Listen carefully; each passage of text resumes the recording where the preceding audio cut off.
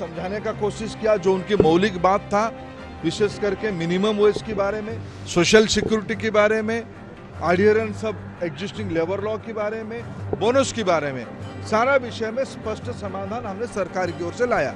हमने trade union के मित्रों को समझाने का कोशिश किया।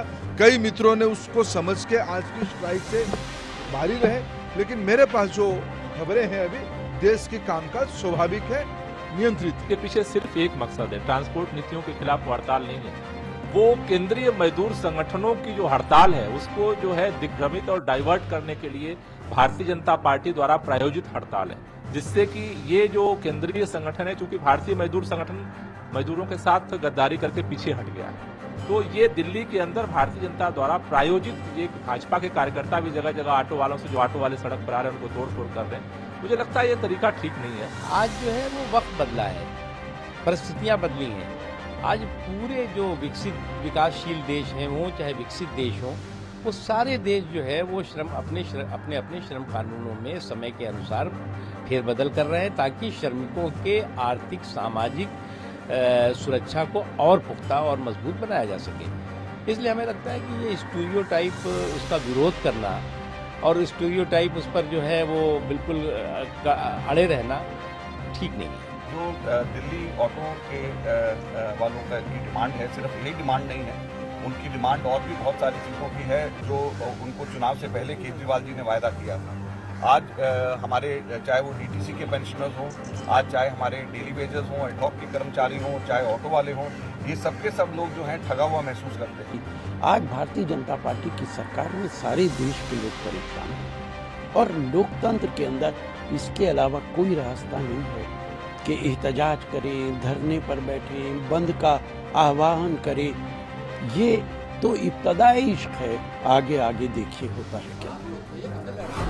चलिए मेहमानों का रुख करूँगा। उससे पहले आज का सवाल एक बार फिर से आपके सामने रखते हैं। क्या आज की श्रमिक हड़ताल का केंद्र सरकार की सेहत पर असर पड़ा है?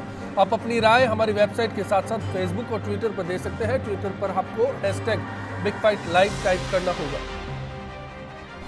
दो दर्शक हैं उनकी भी राय जानेंगे शौकत अली साहब डीडवाणा से और खालिद कुरैशी साहब बीकानेर से हमारे साथ हैं। शौकत अली साहब आपकी क्या राय है?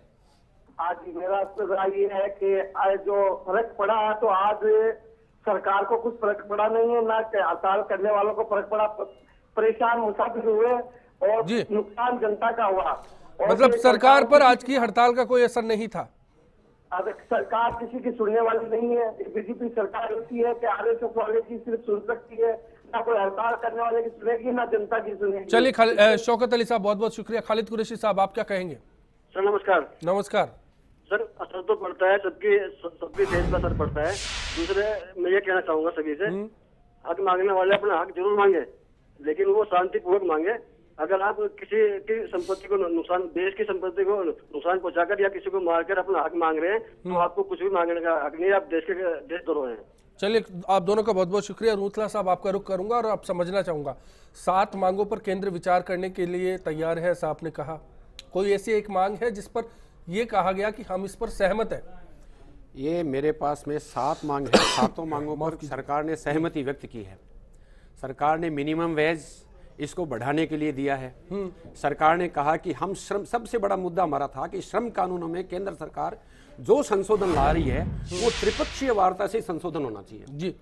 और इसके लिए सरकार ने माना है कि हम श्रम कानूनों में त्रिपक्षीय वार्ता से ही संशोधन करेंगे। इसके अलावा नहीं करेंगे। एक एक तरफा संशोधन जो है इसमें नहीं होगा। और ये हमारे जो केंद्रीय जो सारे ट्रेड यूनियंस थे उनके साथ वार्ता में ये आश्वासन दिया गया। इसके अतिरिक्त बोनस क्या क्या कोई सबूत है? रिटर्न में इस बात का कोई मेरे आपके पास में प्रूफ है? मेरे पास में और श्रम मंत्री जो केंद्रीय श्रम मंत्री बंडारू दत्तात्रेय है हाँ जी। उनका ये मेरे पास जो मेरे पास में पत्र है जो उन्होंने हमारे जो राष्ट्रीय महामंत्री ब्रजेश जी उपाध्याय है उनको ये पत्र लिखा है कि हम इन इन मुद्दों पर जो है वो सहमत हैं और आगे जो है वार्ता खत्म नहीं हुई है। वार्ता जो है अन्य मुद्दों पर भी वार्ता की जा सकती है। मैं तो एक इस- इस- इस- एक मिनट का-। एक मिनट का समय लूँगा। मैं ये कहूँगा कि एक दिन की हड़ताल से क्या हमारी सारी मांगे पूरी हो जाएगी? आखिर कल भी तो हम वार्ता के लिए तो जाएँगे उसी सरकार के पास जाएँगे।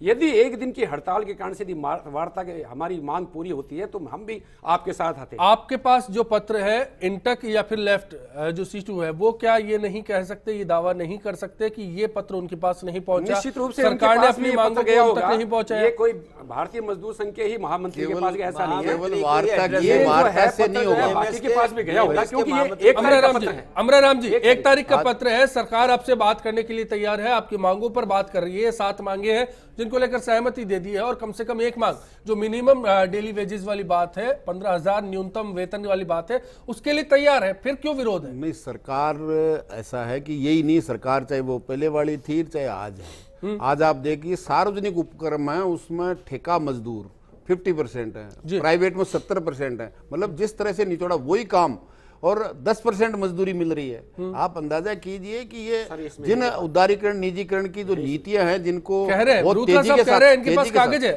जी कागज़ है कागज़ ये है। कागज़ ये है कि हम वार्ता करेंगे। वार्ता करेंगे तो तैयार है। वही मजदूरी मिलेगी श्रम जो जिस संगठन में वो काम कर रहा है उसमें मिनिमम वेजेस मिल रही है। उससे कम नहीं मिलेगी उसको। मैं उन्होंने मिनिमम वेज आज तक लागू हुआ है। जो मिनिमम वेज है वो भी लागू होता नहीं। आज भी सरकारी में नहीं होता। आप अंदाज़ा कीजिए जो मिड डे मील वर्कर है जो पाँच घंटे एक स्कूल में जाकर के खाना बनाने में पाँच से छह घंटा लगता है उसको एक हज़ार रुपया महीने का मतलब आप अंदाज़ा कीजिए वो उसको मानते हैं। सवाल है उस छोटी ब- अ, बुनियाद का जहाँ तक ये बात नहीं पहुँच पा रही। दो दर्शक है उसके बाद गुमान सिंह जी मैं आपका भी रुख करूँगा। अशोक पंडित जी अजमेर से और राजेंद्र जी अजमेर से। अशोक पंडित साहब आप क्या कहेंगे? जी नमस्कार। नमस्कार सर। आ, मैं ये कह रहा था ये ये जो सरकार है जो ईमानदारी सरकार है जी। इस सरकार में सात साल इन्होंने रोडें बंद करी है जनता दिया एक हड़ताल में इनको जनता का फ़िक्र नहीं लगे हैं। इन्होंने सात साल क्या किया है एक बात आज की तारीख में हर डिपार्टमेंट से प्राइवेटाइजेशन किया जा रहा है। सबको आप प्राइवेट वो दे रहे हैं। और डीएमए इतनी बड़ी यूनियन होने के बावजूद भी इसको पब्लिक का और गरीबों का हित नहीं है। ये सिर्फ़ आरएसएस को देख रही है। तो ये कुल मिलाकर ये सरकार जो है जनहित में नहीं है बिल्कुल भी नहीं जनहित में सरकार नहीं है। राजेंद्र जैन साहब आप क्या कहेंगे? अजमेर से राजेंद्र जैन बोल रहा हूँ सर। जी सर। नमस्कार। नमस्कार। मैं ये कहना चाहता हूँ कि भारतवर्ष में अधिकांश श्रमिकों किसानों और इनकी इस तरह की जो है बहुत बड़ी तादाद है। इन लोगों की न्यायिक मांगे और न्यायिक चीज़ें सुननी चाहिए देश में अनुशासन की व्यवस्था समयबद्ध कार्यक्रम सरकार को रखना चाहिए। ये होने से ही हड़ताल होती है। चलिए सरकार के लिए आपका ये सुझाव था बहुत बहुत शुक्रिया। गुमान सिंह जी आपको क्या लग रहा है कि रूथला साहब की बात से कम से कम अमराराम जी सहमत नहीं? लेकिन इंटक को तो होना चाहिए राजनीतिक दल को आप भी फॉलो करते हैं आप भी समझते हैं मांगों का और वार्ता ही एक सुझाव का रास्ता हो सकता है सुलह का रास्ता हो सकता है। देखिए जो रूथरा साहब जो कह रहे हैं पहली चीज़ तो ये है कि इन्होंने कहा कि एक दिन की हड़ताल करके क्या होगा? और फिर वार्ता उसी सरकार के पास जाना पड़ा है। तो एक दिन की हड़ताल पे चार दिन पहले तक हर हड़ताल पे जाने के हर घोषणा पत्र पे बीजे बीएमएस ने दस्तखत किए हैं। तो ये बात बिल्कुल गलत है कि एक दिन की हड़ताल तो के लिए कोई नया चीज़। नहीं नहीं आप भी मैं आप बोल रहे थे बीच में नहीं बोला था। आप जरा शांत सुनिए। फिर ये कह रहे हैं कि साहब सरकार ने वार्ता के लिए बुला लिया। तो क्या हम वार्ता करने के लिए, वार्ता के लिए बुलाने के लिए हड़ताल कर रहे थे या बारह मांगों को मनवाने के लिए मांग कर हड़ताल कर रहे थे? उस हड़ताल में एन वक्त पे चाल ली थे। सवाल एक है सवाल एक है इन श्रम जो कानून है इनको लेकर सरकार का तर्क है कि आज दुनिया में श्रम कानून बदले जा रहे हैं। मौजूदा दौर की ज़रूरत है वरना विदेशी निवेश नहीं आएगा देश का विकास नहीं होगा औद्योगिक इकाइयाँ बंद होती जाएगी। उसको लेकर आप लोग क्या कहेंगे? क्या ये नीति जो है जापानी जोन हो या फिर सेज हो क्या इनको श्रम कानूनों में संशोधन के बिना भारत में लाया जा सकता है राजस्थान में इन्वेस्टमेंट लाया जा सकता है? बिल्कुल लाया जा सकता है।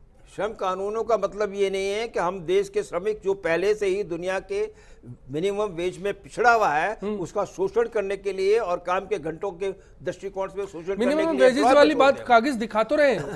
नहीं नहीं केवल कागज़ दिखाने से नहीं होगा। असल बात यह है कि आप जो कह रहे हैं कि कितना कितना विदेशी निवेश आया। भंडारू दत्तात्रेय एक पत्र अपने ऑफिशियल लेटर आप आप जो कह रहे हैं कि ये है? कानून इसलिए बदलने की ज़रूरत है कि एफडीआई हमारे पास आएगी सेज में क्या आप देख रहे हैं सीएजी कह रही है कि पाँच परसेंट विदेशी निवेश नहीं आया है। अशोक कुमार जो। जी- रोज़गार मिलना चाहिए था उसका पाँच परसेंट नहीं मिला है।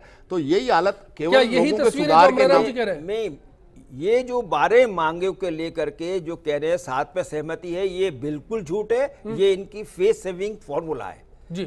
बीएमएस ने जो एन वक्त पर बैकआउट किया है उसका फेस सेविंग निकाला कि सात मुद्दों पर सहमति है। ये बिल्कुल गलत है। हाँ। कुछ पे किसी एक पे भी सहमति नहीं है। और सात मान ले तो कौन हड़ताल करेगा? आप बताइए अगर बारह में से सात मांग अगर कोई मान लेगा तो आगे रास्ता निकलता नज़र आता है जी जी जी। देखिए हम लोग सब रेस्पॉन्स मेरा साठ साल का ट्रेड यूनियन मूवमेंट का एक्सपीरियंस है। हम्म। मैंने कभी भी ऐसा नहीं सोचा कि देश हमारा नहीं पहले देश से प्रेम है देशवासियों से प्रेम है। ये सरकार ये हड़ताल जो हुई है ये सरकार ने हम पर थोपी है। और बीएमएस उसमें एन वक्त पे सामने सलावत खान साहब क्या कारण है कि आपकी सरकार को हमेशा श्रम विरोधी मजदूर के खिलाफ समझा जाता है कारोबारियों का दोस्त समझा जाता है फिर अडानी अंबानी की मिसालें आ जाती है। नहीं ऐसा कोई सरकार में भेदभाव नहीं है। सबका साथ सबका विकास एक जितना ही मुद्दा है। अडानी अंबानी से आपके लिए कहा जाता है उतना मजदूर से नहीं क्यों नहीं है? मेरा सीधा नहीं मजदूर देश में नब्बे परसेंट मजदूर है।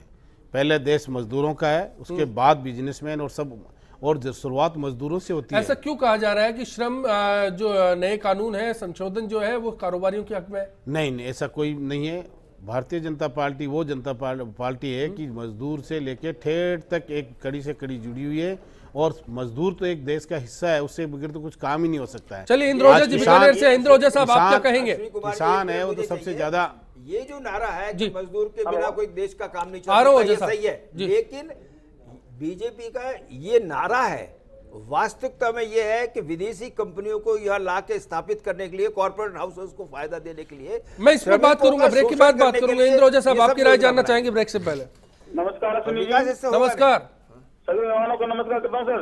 जी सर आदेश करें। सर मेरा ये कहना है पंच साहब देखिए भारतीय जनता पार्टी कर्मचारी विरोधी नहीं है।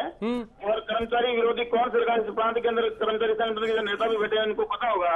जी। अशोक गहलोत के सरकार में गहलोत साहब ने कितने पद तोड़े थे कितने कर्मचारियों को लिफाफे बैठाए थे। क्या वो प्रक्रिया भारतीय जनता पार्टी कर रही है क्या? भारतीय जनता पार्टी विरोधी श्रम श्रम नीतियों को लेकर बात है मौजूदा सरकार की श्रम नीतियाँ क्या मजदूर के हक में है? मेरा एक निवेदन है। मेरा एक है सरकार जनता द्वारा चुनी जाती है। खजाने के अंदर जनता का पैसा होता है तो सरकार को देरी नहीं करना चाहिए। कर्मचारी जो जायज़ मांगे हैं उनको ध्यान में रखते हुए निर्णय करे ताकि जनता को नुकसान न हो। चलिए चलिए ये सुझाव आपका केंद्र सरकार के लिए फ़िलहाल एक ब्रेक पर जा रहे हैं। आप देखते रहिए बिग फाइट लाइव जारी है। ब्रेक के बाद जब लौटेंगे तो निवेश को लेकर बात करेंगे राजस्थान की हो चाहे केंद्र की नीतियाँ हो उनको लेकर बात करेंगे। क्या इन श्रम नीतियों में कहीं वो असर पड़ता है उस पर बात होगी। एलसी जैन साहब आप बने रहिएगा ब्रेक के उस पार आपसे बात होगी। फ़िलहाल एक ब्रेक। में जितने भी यहाँ पे सुबह ड्यूटी करने वाले, जाने वाले हैं, उनको यहाँ बहुत परेशानी हो रही है। ये ड्राइवर अपने में बैठने के कारण हम कहीं टाइम से जब पहुँच नहीं पा रहे हैं और बहुत परेशानी का सामना करना पड़ रहा है। सर, जितनी जल्दी जल्दी हो सके निकाल सकें जैसे भी हो, और हमारी समस्या का समाधान भी हो, सर, साथ में इनकी भी। दो तीन घंटे बीत चुके हैं यहाँ पर खड़े हुए मुझे, और यहाँ से जाने के लिए कुछ साधन नहीं है यहाँ से। इसलिए बहुत सारी परेशानी का सामना करना पड़ रहा है।